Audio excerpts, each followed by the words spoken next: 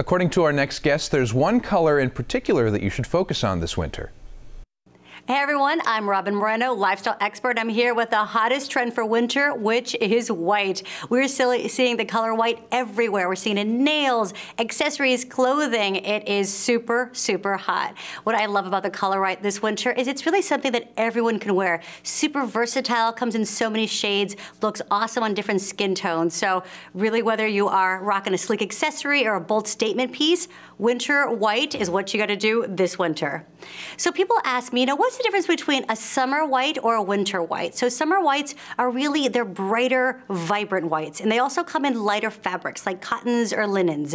Now winter whites, they're warmer, they're softer, they're cozier, and the fabrics um, are, they're more cozy as you can imagine. So there are wools and our cashmere, which are just really so great on the skin.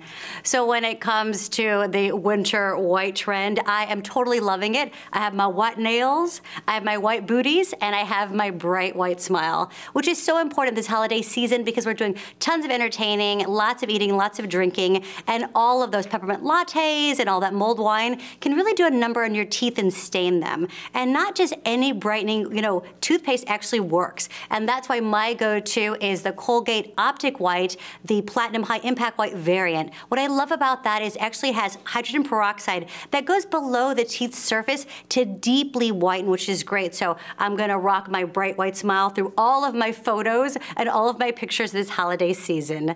So for more information, you can go to colgateopticwhite.com.